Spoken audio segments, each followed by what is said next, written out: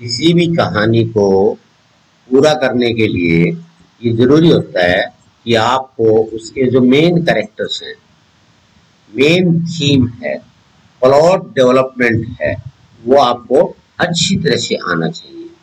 ठीक है? चैप्टर में कौन कौन से मेन करेक्टर है, इस बारे में आपको ज़रूर मालूम होना चाहिए।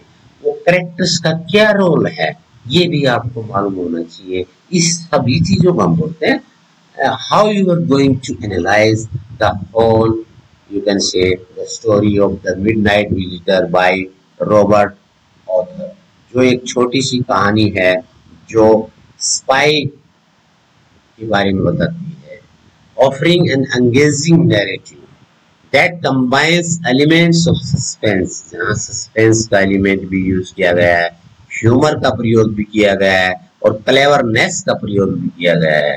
तो इसमें कैसे हम जो ना, अलग तीनों करेक्टर्स के बारे में इस वीडियो में हम आपको बताएँगे। So let's move to the laptop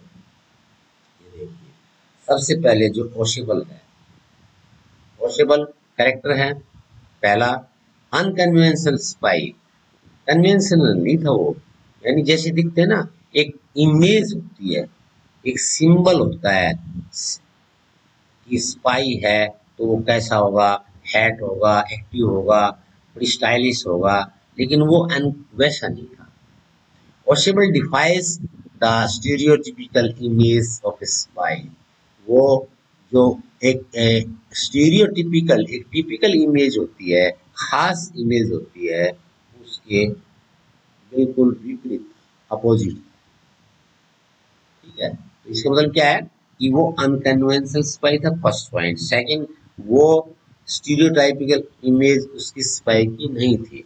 Third point he is not sleek वो दुबला पतला नहीं था।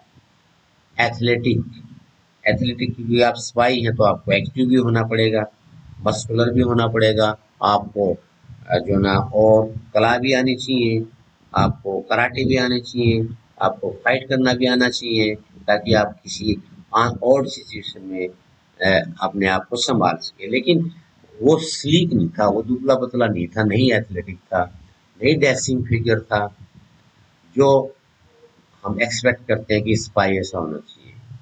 इसके बजाय इज़ डिस्क्राइब्ड एज फैट वो फैट था स्लोपी था और मंडेन था। लगता ही नहीं था कि वो स्पाई था। दिस डेविएशन अब ये उसके करेक्टर की खास बात थी, जो जो रॉबर्ट ऑथर ने यहाँ में बताने का प्रयास किया है कि जो चीज़ हमें दिखाई देती है ना, वो हमेशा वैसे नहीं होती है। From the norm serves to highlight the theme that intelligence and resourcefulness are more important than physical appearance physical और ग्लैमरस से ज़्यादा इम्पोर्टेंट है रिसोर्सेज आपकी। आपकी इंटेलिजेंस आपका quick decision taking quick decision sharp decision ये चीज़ें ज़्यादा महत्वपूर्ण है। न कि फ़िज़िकल अपीयरेंस ठीक है? पॉसिबल साफ़ माइंड पॉसिबल का माइंड बहुत साफ़ था। क्विक था, ठीक है? Wit quick wit to make him compelling character इसलिए हम उसको कंपेलिंग करेक्टर कहते हैं।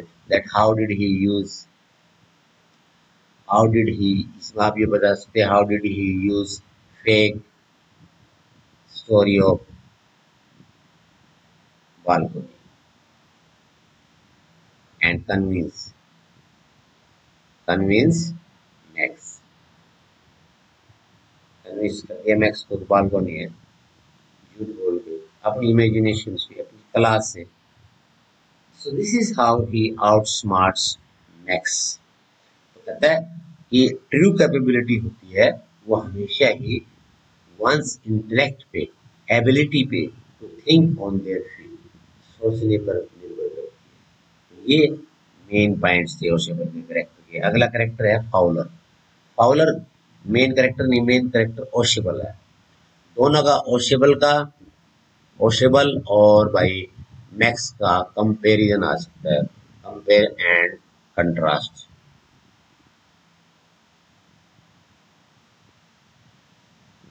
character sketch of